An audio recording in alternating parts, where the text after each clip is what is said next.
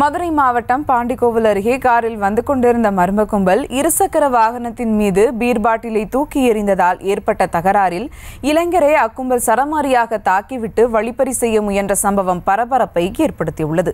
இதுகுறித்த கூடுதல் விவரங்களோடு இணைகிறார் செய்தியாளர் பாலமுருகன். வணக்கம் பாலமுருகன் விவரங்கள்.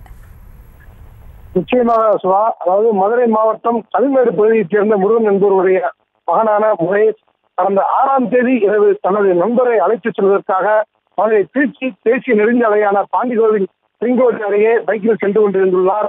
அப்போது அந்த வழியாக காரில் சென்ற கும்பலானது காரில் இருந்தபடி மதியம் இருந்துவிட்டு பீட் பாட்டிலை தூக்கி எரிந்துள்ளனர் அந்த பாட்டிலானது பைக்கில் சென்று கொண்டிருந்த முகேஷ் மீது விழுந்துள்ளது.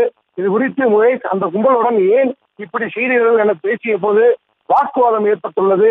இதனை அடுத்து அந்த பகுதியில் இருந்து பைக்கில் புறப்பட்டு சென்ற முகேஷ் சாலையோரம் பைக்கை நிறுத்திவிட்டு இருந்து கொண்டிருந்துள்ளார் அப்போது பின்னால் காரில் வந்த அந்த கும்பலானது திடீரென முகேஷ் மீது சரிமறையாக தாக்குதல் நடத்தியுள்ளனர்.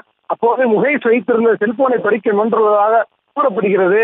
இதனை அடித்த முகேஷ் மீது தாக்கிவிட்டு அந்த கும்பலானது தப்பியோடியுள்ளது.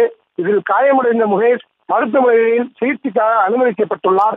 இது தொடர்பான புகாரின் கீழ் மதுரை மாட்டுத்தாவணி காவல்துறையினர் வழக்கு பதிவு செய்து விசாரணை மேற்கொண்டு வருகிறார்கள். இந்த நிலையில் முகேஷ் மீது மர்ம கும்பலானது சராமாரியாக தாக்குதல் நடத்தக்கூடிய சிசிடிவி காட்சி வெளியாகி பரபரப்பை ஏற்படுத்தியுள்ளது சுபா.